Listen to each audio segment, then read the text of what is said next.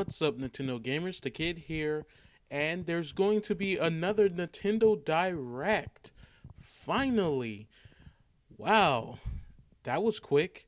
So, this time, like Iwata said last time, it will focus on the 3DS and it will also be focusing on some upcoming Wii U games. Probably The Wonderful 101, Lego City Undercover, Monster Hunter 3 Ultimate, and even maybe some unannounced games. Maybe we'll get some information on the Yarn Yoshi game, maybe a new trailer or anything or gameplay. So, yeah, that is tomorrow actually, which is really cool because I did not expect that to be that quick. But it's at 6 a.m.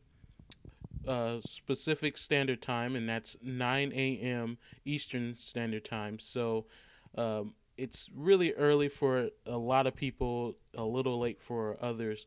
But yeah, so I will definitely be tuning into this and there's going to probably most likely be some new 3DS games announced.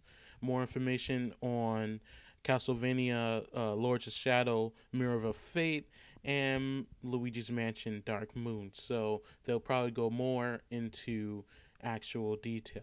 So that is the news. I'll be tuning in tomorrow, really early.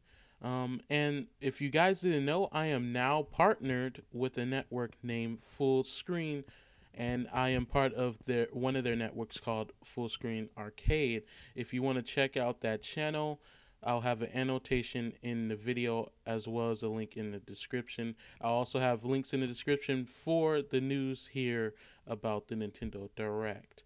So I'm happy to be partnered and I'll be putting up more videos soon and my thoughts on the Nintendo Direct as well as updates. Hopefully, we get some wonderful 101 news tomorrow. So, again, check out Fullscreen. I'll have a link in the description. Thank you guys for watching.